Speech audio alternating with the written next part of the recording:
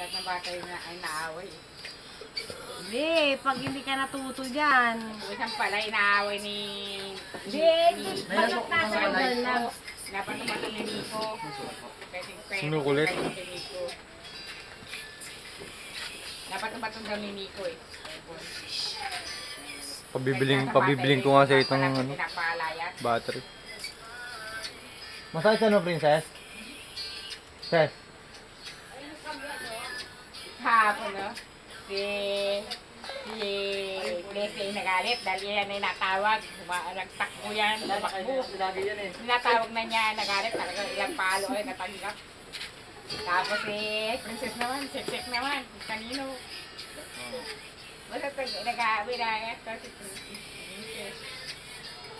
Takbo si Eric, si princess, sek-sek sa, wan, nakahala, nakapaluan, badadamay ako, kaya nagtago yun eh. Pag nalasing ka naman, pwede ka na matulog dito. Oo. May bubong na eh. Hindi ka naman malasing. Hindi ka Ang naman mga bumili ng kuwan, stretcher, pag ay upuan ng mga matatanda na hilahi lang, pwede nang matulog. Yung kung matulog. Ah. Tuloy. Hindi tiklo. Yung ga- dati sa atin. Oo. Oo, meron pa. Meron pa. Ikukan mo lang. Napapangit sa kagabi, taol ng taol eh, no? Oo. Ala, Alam Buti nga malasing eh. pumasok kagabi. Dito na sa Lumabas ako kagabi. Dito na rin ako. Ulang aso. I-check ko nga yung ano, yung salamin. Yung salamin na bin, ano, di ba nandiyan sa taas? Yung sinasabi nila mo. Yung salamin, mahal-mahal yun. Na talaga. Ang gulo ng aso. Parang panasilip na. Ano maganda yung salamin, ano? Hindi kita yung sa loob. Ano salamin?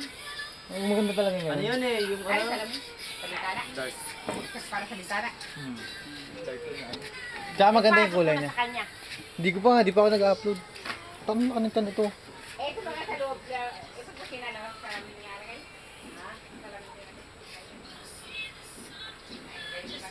Lang. Kung pala yung kusing, itong bahay na ito, hindi pa magalagay ng kwan dyan. Hindi na natin. Dito na lang alagay sa. Agala. May jealousy dyan. Aga, aga.